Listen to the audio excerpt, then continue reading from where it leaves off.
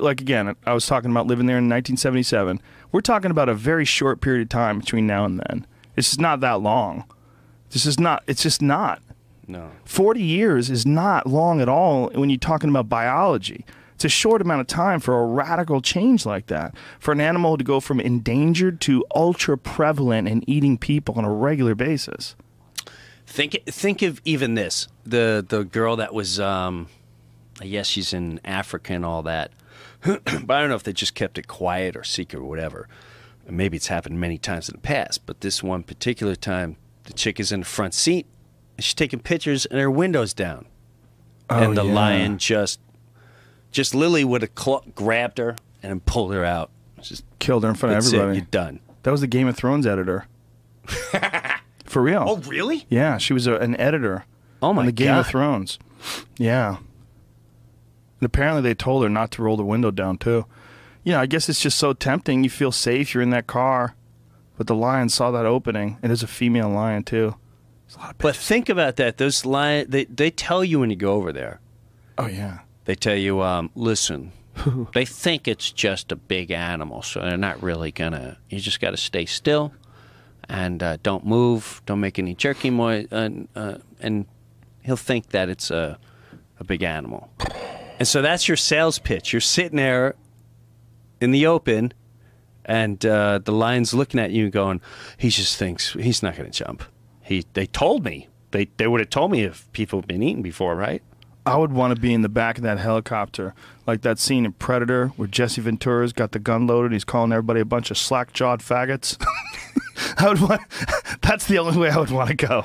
I want to go with a bunch of dudes with fucking bandoliers filled with bullets and locked and loaded with giant steroid-filled muscles, just ready to. and never runs out of ammunition either. Yeah, I don't need a camera. I'll put a GoPro on my head. We'll capture the whole thing and sort out the pictures later. let's, just, let's, just, just- let's get through this. Let's just get through this. I'm not opening up the fucking window. No, I'm not opening up the fucking window to take a picture of a giant cat that kills things every day with its face. No, keep the fucking wi- Dolores. Keep the window rolled up. You crazy bitch. And you see that paw that looks like a catcher's mitt with fangs. Just clamp, gets a hold of your tit and just yanks you out of the car, digs into your rib cage. Oh my god! I don't even you imagine? laugh. It's horrifying. You're sitting there with your fucking Mets shirt on, listen to some good music on your iPod, and it just paws through that window and digs those claws deep into the fucking bones in your ribs Like and carries you off like like when you pick up a little piece of sashimi with a chopstick. Right. Bloop. It's that simple.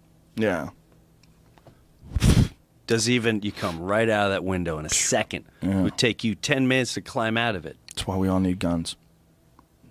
the lions are coming. The lions. Dun, dun, dun. Do you think that after shootings happen, the sales in um, guns go up? Oh yeah, for sure, hundred percent. Skyrocket. People get scared too when all the rhetoric starts getting around about ending the Second Amendment, taking away people's rights to guns. I mean, it's the best thing in the world for ammunition companies and rifle companies. Jamie, there's a video that people are throwing around on Instagram.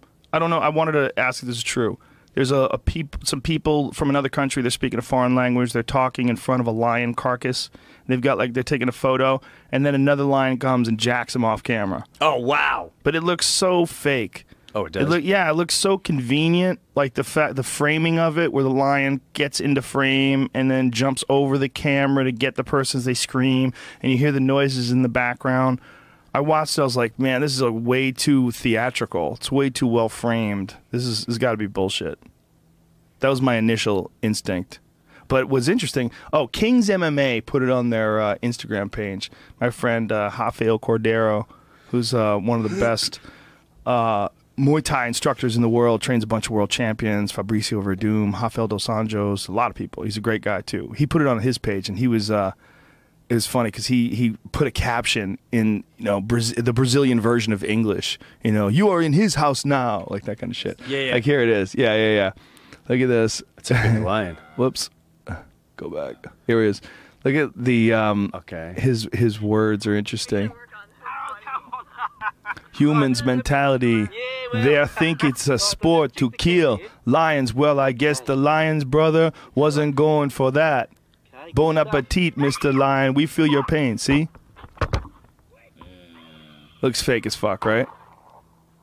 Yeah, let me he- let me see her again. I can't replay it. It'll it'll replay itself. Yeah, it's on Instagram. He ran straight to the person who had the gun. This is their house, and nobody can cross that line. That's so hilarious. Um, See, the line comes back into focus. I don't buy that at all. I just think that's fake. can I see it again? I think I'm gonna agree See? with you. I want to see her. Re- I gotta watch her reaction. Yeah, well, right, I'll just check the counter, yeah? Okay. That's right. Okay, good stuff. No, th- th- she would have never.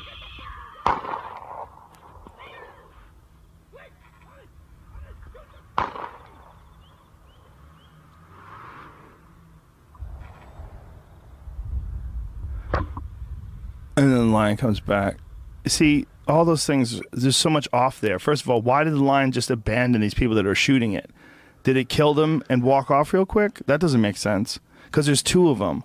If it killed two of them, I think it would have killed one and ragdolled it around a little bit and then gone to the second one. It would have taken longer than 10 or 15 seconds. You can add that side effect. The, Yeah. The. Yeah. And then the rifle went off and it's just nothing happened. They missed totally. They missed twice. All that stuff seems fake. Just uh, the framing is the big one. And then their acting seems like shit too. I thought they were speaking another language. Apparently they're speaking English. But that goes back to the, you know when I think about things like that, Joe. I literally sit there and go, humans will believe anything without Yeah. even a thought process. The, we'll just believe it. Yeah, no, it's the video. I, I saw it. But don't you I think completely that's saw it. that's also like a smart video to make because that's what people want to see. Like people hate trophy hunting. They hate this idea that people go over there and shoot these lions and then prop them up and look Eat with a big sucker. smile on their face next to some weird animal that they just shot, some majestic beast. Right. It's weird, man. It's all weird. What's weird too that people are celebrating that this fucking this fucking lion came by and jacked him, went after the lady with the gun. You know, like everybody's like all happy. The comments, the comments are all happy. Like I'm not into killing lions, but uh, I'm definitely not into lions killing people. And I don't think that it's like a it's not a revenge thing. Like that lion would have killed them no matter what. They they killed. They're lions. That's what they do. Yeah, I I get it. I get. I'll sit there and I'll go, like hunting.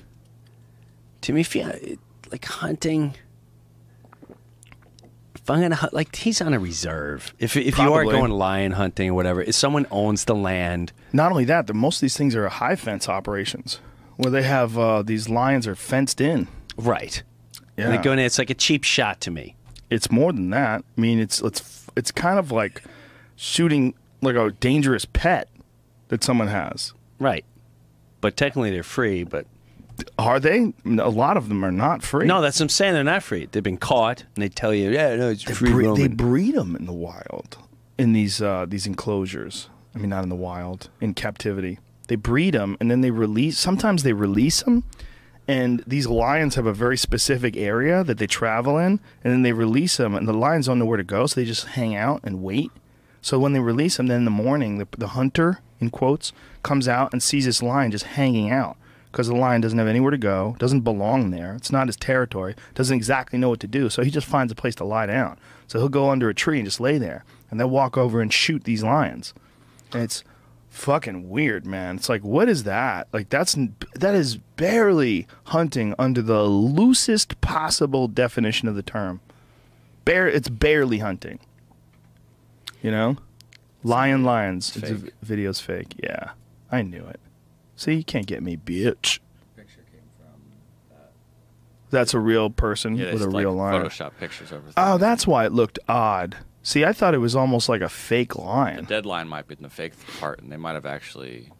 That Hmm. the moving line might have been real. I'm not. I'll read more on that. But It's so weird. But you know what's weird about this whole thing? You know, after Cecil the lion got killed in Zimbabwe, now they have to kill 200 lions because they have an excess of lions because nobody wants to go there and um, nobody wants to hunt lions anymore because of the blowback that they experienced from this Cecil thing. So now they're they're What was assassinating. the him. Cecil thing? You know that guy, that dentist that killed that famous lion. Yes, yes, yes. Remember yes, that? yes. That's Yeah, Cecil the lion. yeah. Okay. Remember that whole outrage was really crazy. Like everybody got nuts about that. And because of that, nobody wanted to go there to hunt. So now they have the lions that are decimating the ungulate population. So they, they had to kill 200 lions. 200 lions that would have brought them, you know, I think they get $50,000 a lion when when hunter comes and pays to hunt the lion. So think about that shit. They're like losing money. It's a fucked up place, man. It is a crazy place. Louis Theroux has a beautiful documentary. If you've never heard me yap about it before, but it's a documentary about him. It's one. It's it's on YouTube. Him going on this African hunting expedition with all these Americans. It's really strange, really strange. Jungle Street Wars, but the same. What's that? No, that's what I'm saying. That's what it sounds like. Oh. Freaking jungle street wars with the animals. But if you really think about it, you know, people get mad here because they don't live like that. They haven't seen, well, until like Orlando, you haven't seen a wild animal snatch a family member, a friend, Yeah, a child. So they're accustomed to like "Pfft, whatever that thing. That thing tears me to pieces. I still, I remember my mom getting eaten by that thing. So yeah, no, I have no problem selling him off, taking that thing out. yeah. There was a recent. Uh, there's this guy named Jim Shockey, and he's got this great show called Uncharted. He's just sort of an adventurer. He travels all over the world, and they hired him to go to Mozambique because all these people were getting killed by crocodiles. So he's going. He goes to Mozambique to hunt crocodiles, and while they were there, someone in the camp got killed and eaten by a crocodile. Some woman was washing clothes and got dragged into the water. And you know, you talk to them, and like those they, those people don't they don't have any problem with someone coming over and shooting a crocodile. no, because they saw, they they see it. yeah, there'll be no protests. Right. We don't make movies about this. There was an article in the New York Times after the Cecil thing by someone from Zimbabwe that said, "In Zimbabwe, we do not cr- cry for lions." And it talked about how all the family members that had been terrorized, all the people they knew that had been actually killed by lions. Like this is not a joke. Like you guys have this fucking Lions King version of what's going on over here. Right. But even there, still, I don't want anybody to shoot a lion. It just seems Well, it's just like anything. Then they'll say, "Well, why, why don't they move?" Well, you don't know the conditions they are. Yeah. You don't know how far they have to go. If they got to go across the desert or where. Yeah. What you, you can't say anything till you live in that. Till you live that way of life. I, that drives me nuts. Yeah. People just. Well, you know what's going on over there. No, I really don't. I've so far away and it's so different than anything we can ever even possibly imagine happening in North America. Dude, I'm just worried about my teenagers getting pregnant.